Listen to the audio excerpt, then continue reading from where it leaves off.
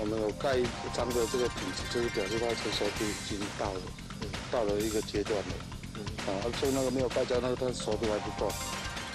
其实大家非常关心的教育的这个问题，那么接下来要来看到，在日本很多专家研究所谓的右脑开发。我们都知道呢，我们常常用的是左脑，左脑就是记忆啊。那么但是右脑就是创作，右脑怎么样来开发呢？现在有这么一个说法，竟然是用打拳来记唐诗。那么有老师开发出一套所谓的唐诗拳法，让小朋友一边练拳，一边蹲马步，一边还要背唐诗。过去我们知道背唐诗，哎，大家有做过，或者背这个三字经。啊，人之初，性本善，性相近，习相远等等，我们从小都背过。可是现在呢，你还要运动，哇，真的是一兼二顾。它能够刺激到右脑什么呢？我们来关心一下哈，爸爸妈妈都要知道，你的右脑跟你的左脑所重视的是不一样的，比较难开发的，人类也用的最少，就是右脑。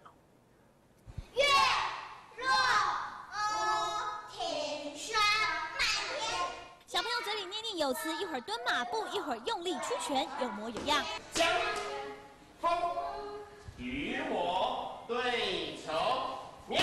喊得特别大声的是伊森，才上没几堂课，不管是枫桥夜泊或宋孟浩然之广陵，他都朗朗上口。皇后，看你最慢哦。原本背唐诗和学武术都是苦差事，但对他们来说，就像带动唱一样有趣。双摸摸看地上冰不冰，满天的时候往上看，看能不能跳到天花板，满天。那这个动作让小朋友等于说在呃诗词歌赋里面也可以知道他的动作的含义，然后小朋友就可以学得比较快。夜半怎么做？哦，为什么要这样子？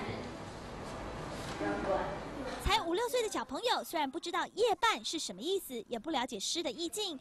却已经能把一首诗背得滚瓜烂熟，边打拳边学唐诗，不但增强了记忆力，同时活动筋骨，一举两得。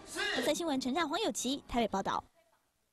而我们在看到的，在这里面所谓左右脑的这个开发，那么如果更进一步的学理的话呢，这种用方式来做，那么有人就说右脑开发又是什么样一个部分？就像大家现在学英文单字，我就看到有一种英文的教法哈，他说你这个淤青叫做 bruise，对不对？那他就跟你讲说淤青是青色的嘛，青色就是 blue，但是你再加个字就是 blues。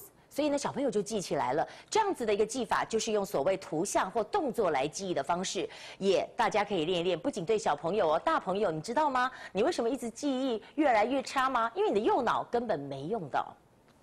天气好热哦，所以他们就戴了帽子。